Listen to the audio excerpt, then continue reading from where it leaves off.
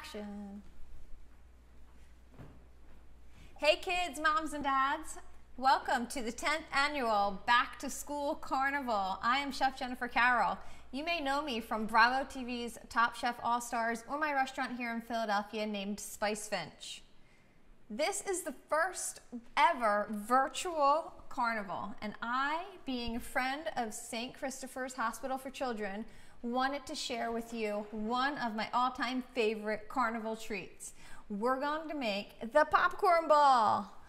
This is such a super, super simple, easy recipe that you can make at home with an adult, your parents, your friends, your sisters, anybody. You only need three ingredients. You need popcorn. you can make them as if you want, but your mom might get mad. Uh, butter and marshmallows. And then you can use whatever type of sprinkles you want. I like rainbow, I have chocolate here. And if you want your favorite cookie or chocolate treats, I like to smash up some Oreos and put them on it too. So remember, if you're making this at home, it does get hot with the marshmallows and butter and it can burn you. So make sure there's an adult in the room and we're going to get started. Okay, the first thing that we're going to do is going to turn on our heat and we're going to heat our pot up to a little bit slightly warm, not too hot, and we're going to add in three tablespoons of butter, which I have here.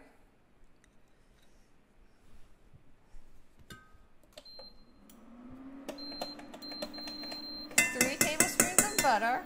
It's one, two,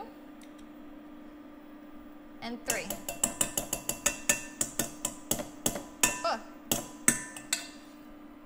Now, you can also melt your butter and marshmallows in the microwave if you want. And if you do that, put it in a microwave safe bowl and you can cook it in the microwave on high for about two and a half minutes. And now we're going to add in our marshmallows. I like to use the mini marshmallows because they melt faster. I'm to put them all in.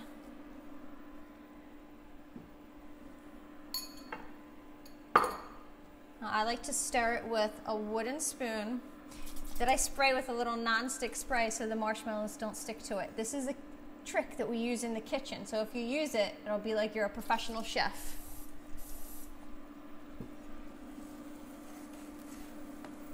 Okay, we're gonna stir, stir, stir. Get these marshmallows and butter all nice and melted.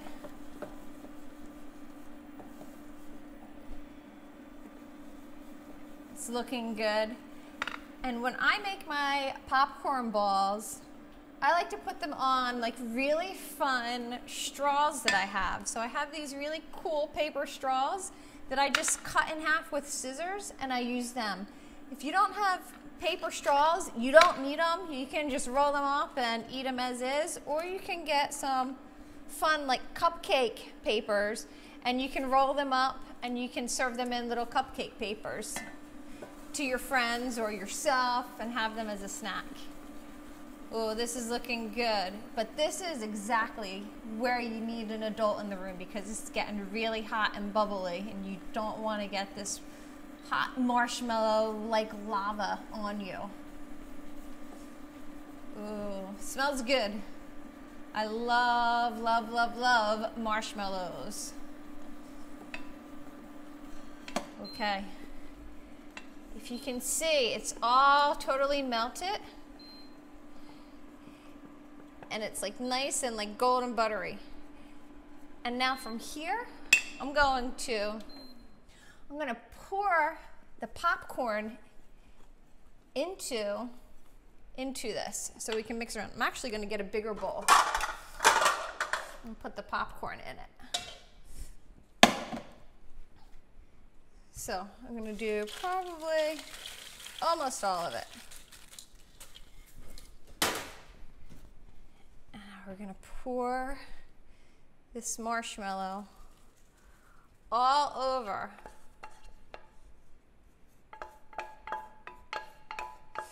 Yum.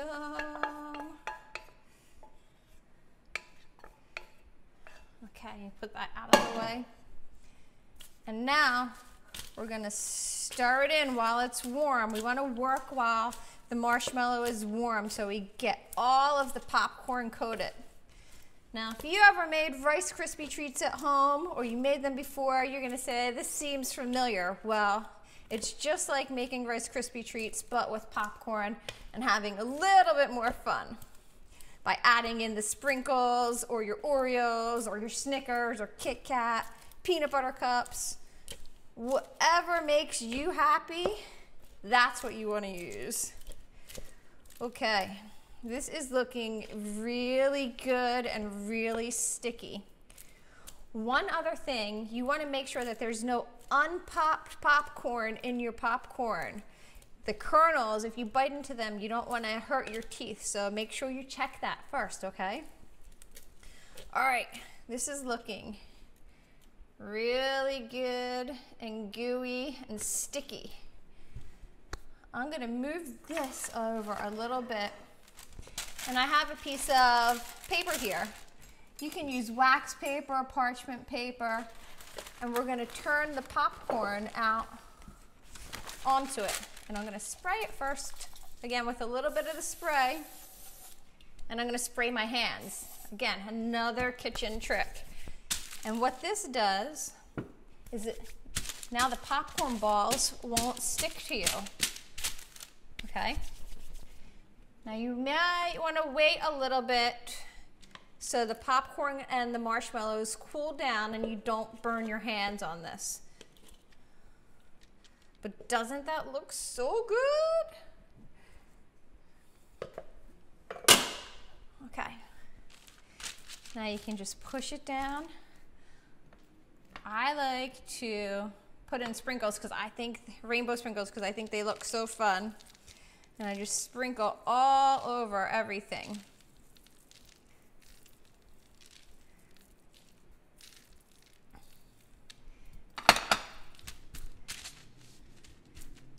Turn it over and I mix it up. Because even if I add Oreos or chocolate sprinkles to this, I like the rainbow sprinkles in there because I like the colors and the, and the fun, how fun they look. Okay. So I got my scissors and I'm gonna cut a couple of these straws in half. They don't have to be perfect, just go for it. I like purple. And I'm gonna start making a little ball. I'm gonna put the pot, the straw right in the center and I'm gonna push it around so it sticks to the straw. And I want a little bit of the chocolate sprinkles on here, so I'm gonna dip it right into the bowl of chocolate sprinkles. There you have it. So easy and so quick that you can do this at home. So this one, again, make it nice and tight on your popcorn stick. And I want more sprinkles, so I'm gonna roll it in all the sprinkles. You can see how many sprinkles are on here and how cool it is, how fun these look. Okay, so you're gonna keep on going and you're gonna make all these into popcorn balls just like I have here and enjoy. All right, have a great back to school.